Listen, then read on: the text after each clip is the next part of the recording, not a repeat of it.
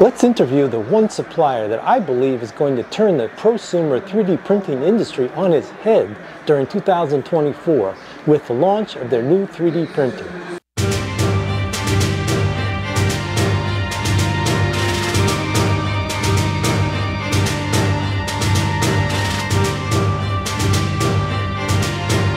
Mark, I really appreciate your time today, and I would like to hear a little more about the special printer that you're launching here at ERRF. Oh, uh, uh, first of all, thank you for having me, Ken. Um, of course. And uh, so this is our new printer, Magneto X. Mm-hmm. It's a linear-based uh, motion system. Okay. Um, the motor, you can see, if you can this uh, you can see the magnets on the on the rail here. Yes. Um, and and there's no um, belts and no uh, pulleys, no wheels. Mm-hmm. Um, and I, I, believe we kind of went through a little bit yesterday. You yes. saw how it moves. Yes. Uh, so.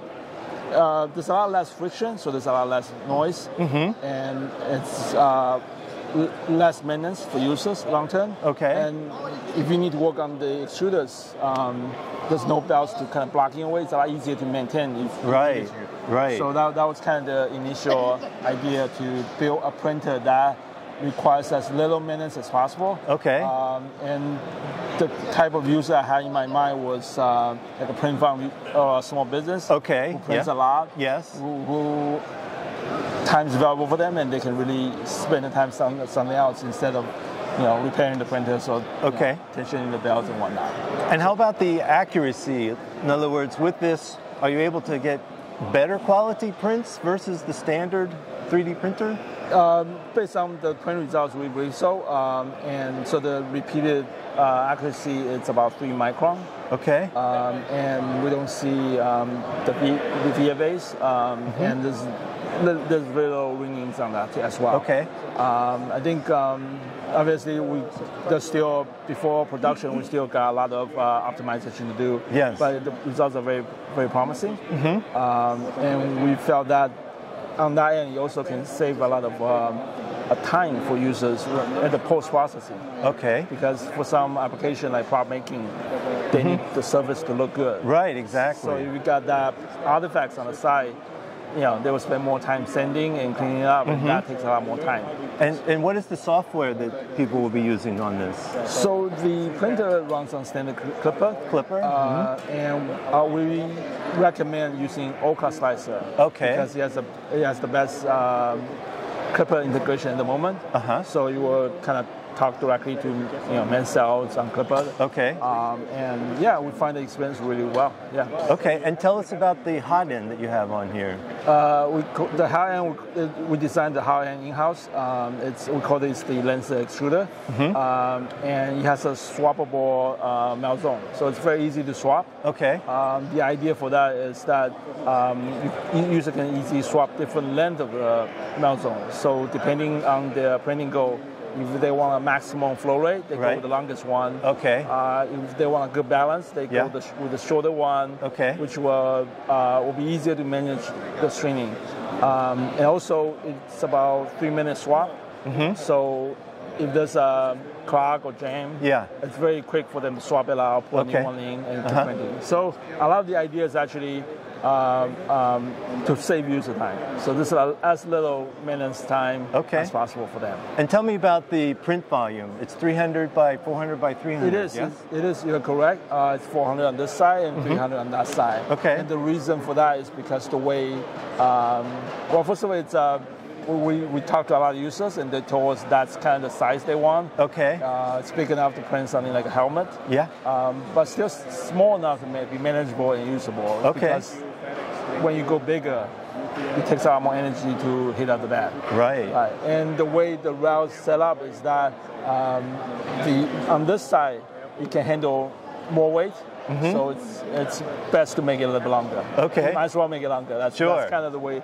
And also the arrangement is such that uh, it's uh, it's wider. Yes. Uh, it's easier to put on the table instead of uh, longer. Okay. Okay. Right. And we, we have the filament mounts on this side. Okay. So it's easier access. You don't have to kind of go around the back. Yeah. Yeah. Right. Okay. So the, all, a lot of these are coming from the users and and we appreciate their feedback and try to implement as many as we can. And then you also have an option to enclose this as well, both yes. sides and, and top.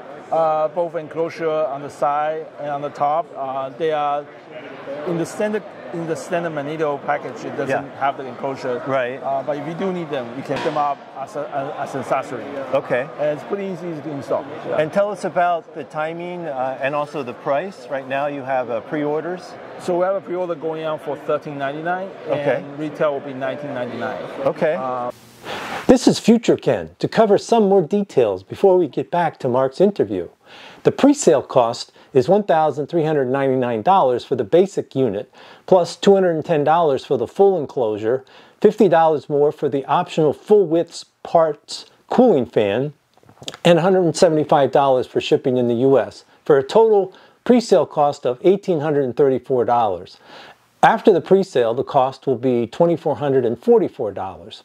I am so convinced that this printer will be a game changer. I'm putting my money where my mouth is, and I've ordered a fully loaded pre-sale unit with my own money.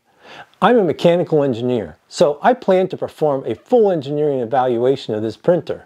When I upload my video, you won't want to miss it, so I suggest you consider subscribing to my channel so you'll be notified when it's available. Now, let's cover some questions that I haven't covered so far in my interview with Mark. Number one, why isn't the printer printing anything? Mark explained that the extruder was damaged during shipping from China and they didn't have any replacement parts because this was an engineering prototype. Number two, is the printer noisy? I was right next to the printer and I found it to be very quiet. However, we were in a noisy trade show, so it was a bit hard to know exactly what the noise will sound like in a more normal environment. Number three, does the printer create a lot of vibration? Most of the movement in the video was due to a very wobbly table that it was sitting on during the trade show.